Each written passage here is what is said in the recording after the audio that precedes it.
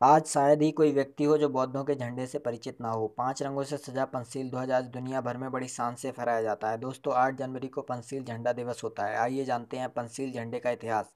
बात उन्नीसवीं सदी की है, जब दुनिया भर में मानवता संघर्ष कर रही थी। यूरोपीय देशों ने दुनिया भर में अपने उपनिवेश बना रखे थे। उस समय श्रीलंका एक ब्रिटिश उपनिवेश था और वहाँ की बहुसंख्यक जनता बौद्ध थी। वहाँ बौद्ध धर्म की स्थिति बहुत अच्छी नहीं थी। इसी बीच बौद्धों के बीच जागरूकता बढ़ती जा रही थी और बौद्ध सिद्धांतों की लोकप्रियता भी बढ़ रही थी। तभी श्रीलंका में कई बौद्ध विद्वानों और भिक्षुओं की समिति ने एक बौद्ध ध्वज बनाने का प्रस्ताव बनाया। सभी लोगों का विचार था कि धर्म प्रचार और प्रसार के लिए बौद्धों का एक प्रतीक होना चाहिए। इस विचार को श्रीलंका के नागरिक देवमित धमपाल महास्तिर गुणानंद, सुमंगल थेरा, बौद्ध विद्वान जी आर डिसिल्वा आदि ने मिलकर नीला, पीला, लाल, सफ़ेद, केसरी रंगों को मिलाकर आड़े और तिरछे में लगाकर बौद्ध ध्वज का निर्माण किया। जिसका माप खड़े में पचास सेंटीमीटर और आड़े में सत्तर सेंटीमीटर है। इसे आज पंसील ध्वज के नाम से जाना जाता है। ध्वज का नीला रंग समानता एवं व्यापकता का प्रतीक है। पीला रंग पवित्रता एवं करुणा का प्रतीक है। लाल रंग गतिशीलता एवं दृढ़ संकल्प का प्रतीक है। सफ़ेद रंग शुद्धता और शांति का प्रतीक है। केसरी रंग त्याग एवं सेवा का प्रतीक है।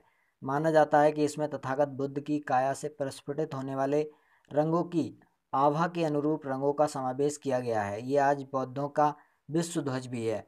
बौद्ध धम ध्वज सबसे पहले श्रीलंका में अठारह ईस्वी में फहराया गया था। ये शांति, विश्वास और करुणा का प्रतीक है। इस बात पर थोड़ा विवाद ज़रूर है कि बौद्ध ध्वज का मुख्य निर्माता कौन था।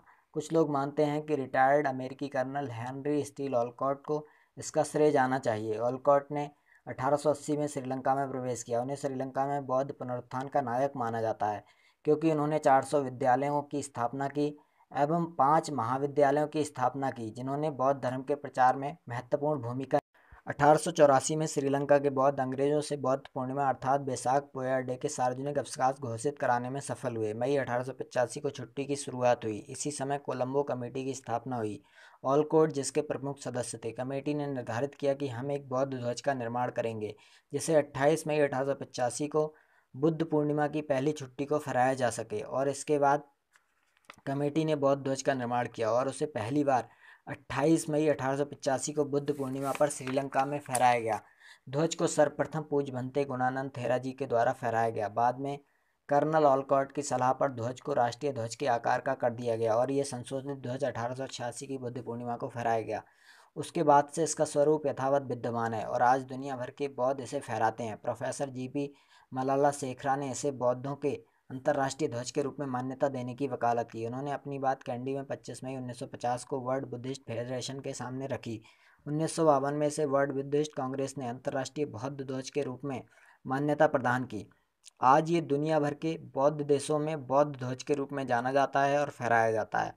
तो दोस्तों, ये था पंचशील ध्वज का इतिहास। आप देखते रहिए द फाइंडर खोज सच की। नमस्कार।